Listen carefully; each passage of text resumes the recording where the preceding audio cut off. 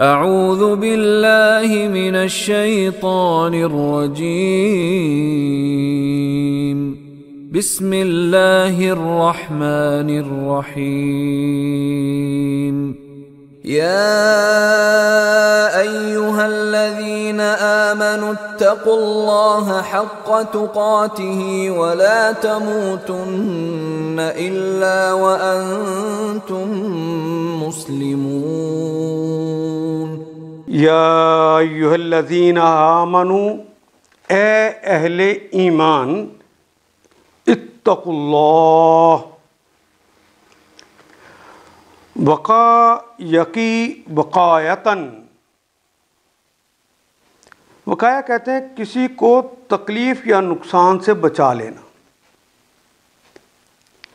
इतक अलिफ अमर का लग गया, तकवा से पहले, तोए, ते कौफ वाओ छोटी इससे पहले अगर अमर लग जाए कि किसी को कहना हो कि तकवा इख्तियार कर तो शुरू में अमर के लिए एक अलिफ लग जाएगा। ये जो अमर के लिए लगेगा तो इसकी खसूसियत ये होती है कि उसके अंदर, कलमे के अंदर जितने वावल्स होते हैं, उनको हज़फ कर देता है और आखिरी हरफ के ऊपर जज़म दे देता है। देखिए, तकवा अलिफ शुरू में लगा है तो इसके आखिर पे वावल्स जो हैं, वाव और या है, ये तो हज़फ हो जाएँगे। आखिरी कलिमा रह जाएगा काफ। काफ हर्फ के ऊपर आ जाएगी जज़म। तक तकवा इख्तियार कर। और ज़्यादा लोगों को कहना होगा तो आखिर पे वाव अलिफ लग जाएगी।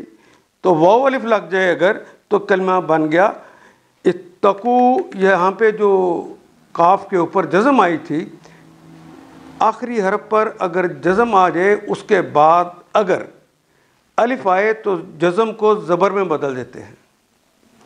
अगर आखिरी हरफ के ऊपर जहाँ जज़म हो, उसके बाद आने वाला कलिमा हर्फ जो है वो अगर या हो तो उसके नीचे जज़म वाले हरफ को, जज़म को मटा कर नीचे ज़ेर लगा देते हैं।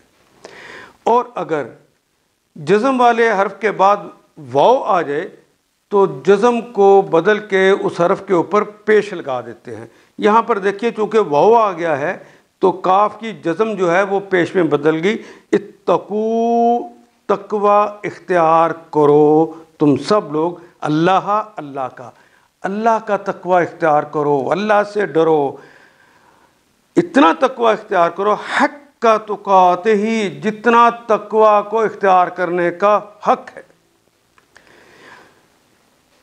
यानी अगर एक ही फेल के अंदर उसी कलमे को दोबारा लाया जाए, हक का तुकात ही, हक का यह के हक अदा हो जाए, तुकात ही तुम्हारा तकवा इख्तियार करने का, तुम्हारा डरने का हक अदा हो जाए। वला तुमूतुन्ना, हक का तुकात ही, यहाँ तक के तुम, तुम्हारा हक अदा हो जाए तकवा को इख्तियार करने का। वला तमूतुन्ना। वो के मानी और ला का मतलब नहीं तुम तमूतुन्ना। ये माता, वो मर गया। यमूतु, वो मरता है या मरेगा? और तमूतु, तुम मरते हो या मरोगे?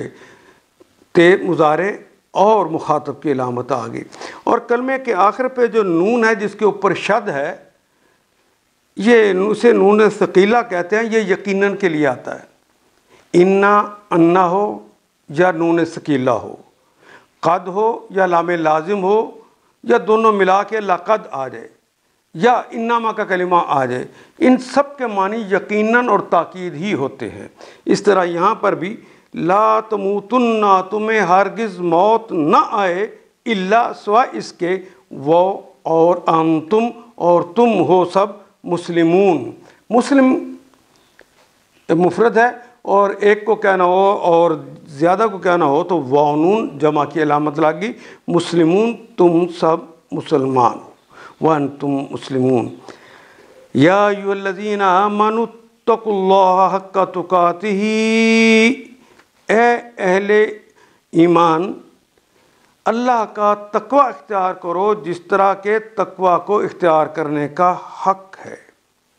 वला तमूतुन्ना और तुम्हें मौत ना आए आए, इल्ला वन तुम मुस्लिम सिवा इसके कि तुम मुस्लिम हो।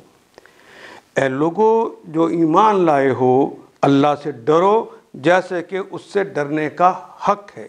तुमको मौत ना आए, मगर इस हाल में कि तुम मुस्लिम हो। इसमें भी देखिए वो हमारी ज़ुबान का कलमा कैफ और कैफियत का कलमा भी उर्दू में इस्तेमाल करते हैं, कुफर का कलमा भी उर्दू में इस्तेमाल करते हैं वो भी करते हैं तलावत का कलमा भी इस्तेमाल करते हैं, आला का कलमा भी इस्तेमाल करते हैं, आयत का भी, अल्लाह भी वो भी, फ़ी भी, रसूल भी वो भी, मन जो है 1.5 में से है बार बार आ रहा है, एतसमा, यातासिमु, ये एहतसाम नाम भी हम उर्दू में रखते हैं, बे भी इस्तेमाल होता है, अल्लाह भी उर्दू में इस्तेमाल होता है फ़कत ये तो 1.5 में से आने वाला है। हुदिया हदायत का कलमा भी उर्दू में इस्तेमाल होता है। इलाक तो 1.5 में से है। सिरात भी और मुस्तकीम भी दोनों कलिमात हमारी उर्दू ज़ुबान में इस्तेमाल होते हैं। या यूलजीना अमन ये तो बार बार आ रहे हैं। अमन का कलमा भी हमारी ज़ुबान में इस्तेमाल होता है। तकवा का कलमा भी इस्तेमाल होता है। अल्लाह का भी, हक भी, तुकाते भी। ये भी तकवा है असल में। वला तमूतन्ना वो भी, ला भी और मौत भी। और ये भी हमारी ज़बान में इस्तेमाल होने वाला है। इल्ला 1.5 में से है वो और अंतुम वो हमारी ज़बान का कलमा है और अंतुम ये भी 1.5 में से है और मुस्लिम का कलमा भी वहाँ हमारी अपनी ज़बान में इस्तेमाल होता है। इन आयात को एक दफ़ा फिर तलावत ख़ुद कीजिए।